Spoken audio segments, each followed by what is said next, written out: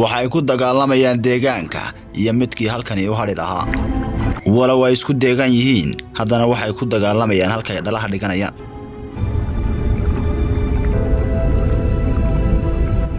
Waa kalluunka nooca loo yaqaano clownfishka waxaanu dhalihiisa ka ilaalinayaa kalluunada kale oo dhan. Waa mid aad u feejigan waxaanu ku dhalaa salka badda dhammaan midda dhadiga iyo midka labilabaduba waxay u taagan yihiin inay difaacaan dhalahooda iyo ilaalintooda. Waxaana si cad loo arki karaa haatan indhaha dhalaha.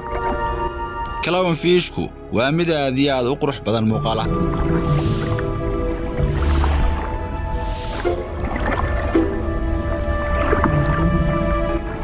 Waxay la dirirayaan dhammaan kalluunada kale ee aaggani ka soo dhowaada islamar ahaantaasina labadoodaba waxay difaacayaan dhalaha mid kasta oo iyaga ka midi waxa uu si gaara u daryeelayaa dhalaha.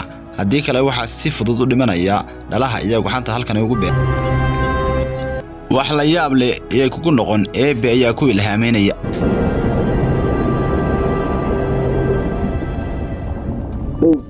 midkan yari waxaa lagu magacaabaa stregafish waxaanuu indhaha ku hayaa oo ilaalaynayaa goobtani uu kaga dhalay badweynta hindiya marmarka qaar way afuufayaan si ay u soo saaraan dhalaha balse inta badan waxay ka ilaalinayaan ugaadhsadayaal.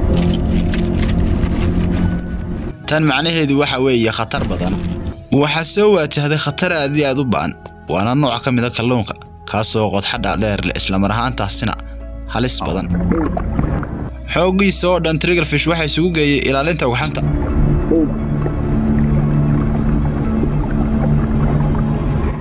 waxa uu isku dayayaa inuu ka difaacdo dhalihiisa triggerfish waxa uu ku adkaystay difaacista uu difaacanayo ugxantiisa waxaanu ku celcelinayaa gujada uu ku gujinayo afkiisa. Darbooyin dhowra oo ku dhuftay darteed way dhimatay khatartii soo waj waxa kaloo dhani waa mid aad fudud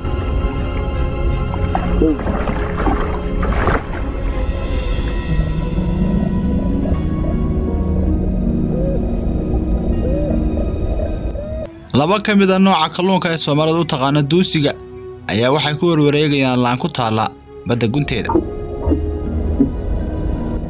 Waxay u muuqdaan inay samaynayaan wax muhiima waana tan midda dhadiga ayaa waxa dhigtay ugxanteedii laan ka mid a laamaha geedka. Mar kale midka laba isaguna waxa uu u baahan yahay inuu halkaasi ugxantiisa geeyo waa laba waalida oo mashquul ku ah dhalahooda.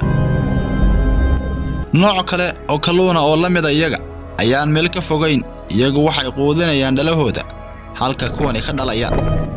Badaha guntoodu waa meelaha ugu nolosha deggan leh waxaana ku nool balaayiin makhluuqaada waana meel aan laga haynin akhbaar sidaasi u badan boqolkiiba sagaal iyo sagaashan badaha guntooda lama baadhin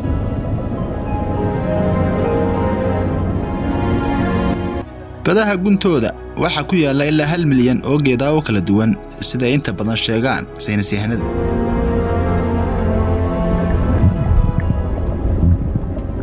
waxay isugu yimaadeen hal meel. Waa hal noocoo kalluuna waxaanay samaynayaan waxa loo yaqaano meetinka ama bacrimiska. Waxaanay ugxantooda dhigayaan meel gaar.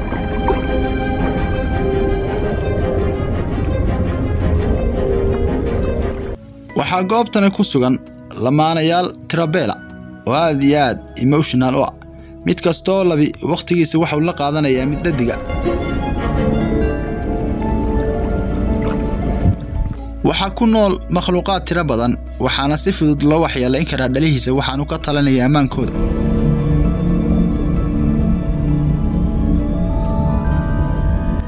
Kalluunka midkan inoo muuqdaa waa midka bilaa lafta ah inta badan soomaalidu tira carjawda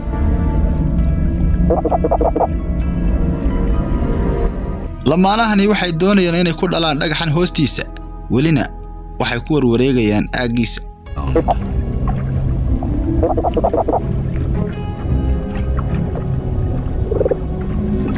geedaha ku nool badda salkeeda qaarkood way ugaadhsadaan waxaanay ugaadhsadaan sida xayawaanka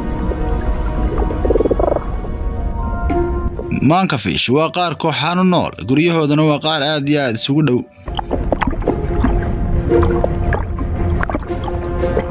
Kalluunada qaar ayaa xasaasi ka qaba inay ugaadhsadayaasha u soo dhowaadaan dhalahooda